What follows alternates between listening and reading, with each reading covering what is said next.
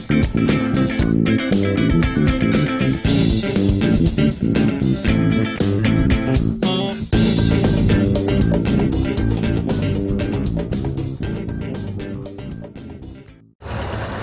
the Chao Phraya River and visiting different attractions along the riverside is certainly a fun thing to do.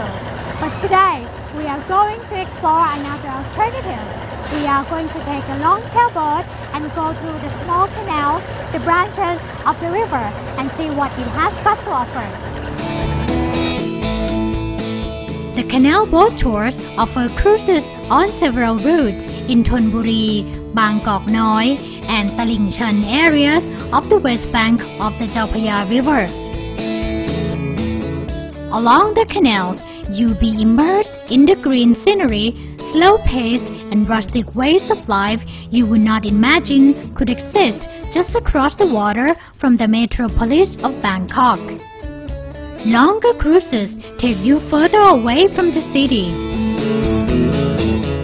But if you've got only one or two hours to spare, head to Ta Tien Pier near Wat Po and hire one of these long-tail boat operators for a cruise in Thonburi.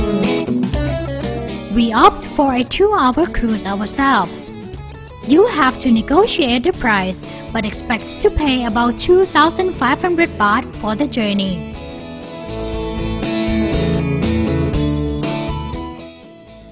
And off we go, turning into the Mon Canal.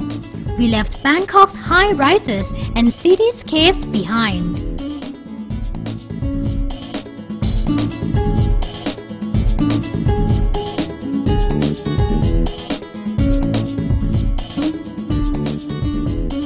Thonburi was a pre-Bangkok empire established over 200 years ago. As it turned into a suburb of Bangkok in 1971, its traditional ways of life started to give way to roads and facilities. However, the remnants of the old empire remain.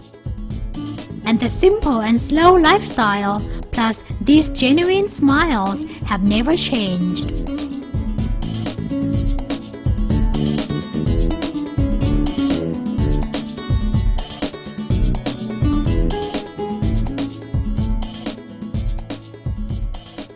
Among the attractions along the canals are these ancient temples where the boat driver will be happy to stop if you want to have a quick peek at one of them.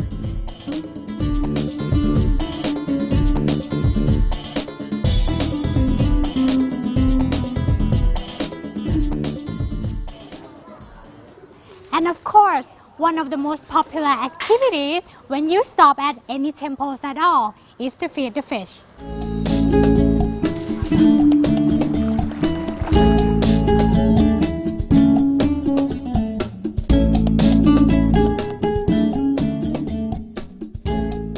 Then we turned into this smaller canal, which we agreed was the highlight of the cruise.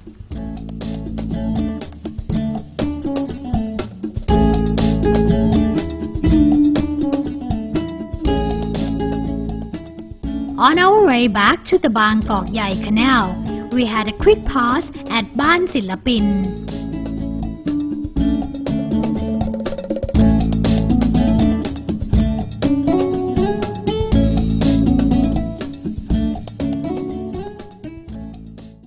Ban Silapin is a traditional Thai house aging over 100 years old.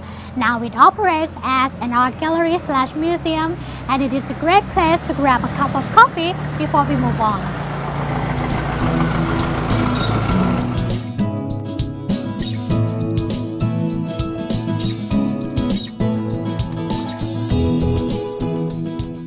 Cruising the Phraya's branches and canals is a terrific way to experience the rustic local ways of life.